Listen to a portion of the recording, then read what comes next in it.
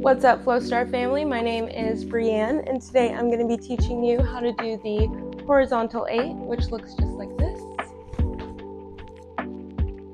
I love this trick because it can really help you to get exploring in that horizontal plane and then unlock a lot of cool new tricks, combos, and illusions.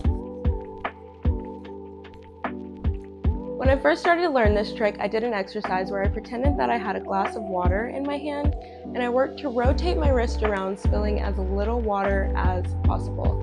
And I did that both clockwise and counterclockwise on both hands.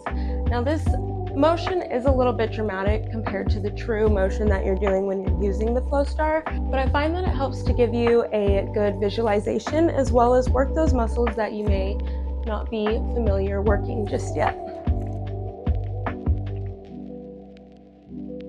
Once you get that exercise down and you feel comfortable moving forward to your Flowstar, you can take your Flowstar and grab it fingertips to palm with your Flowstar right in between. Grab it in like a little bit of an L shape and whip your Flowstar around over your forearm and back down. Just like that.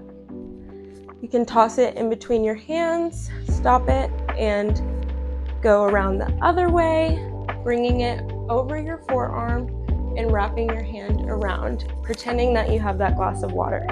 And that is the tutorial for the horizontal 8 trick.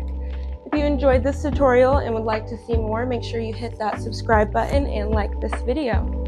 Thank you.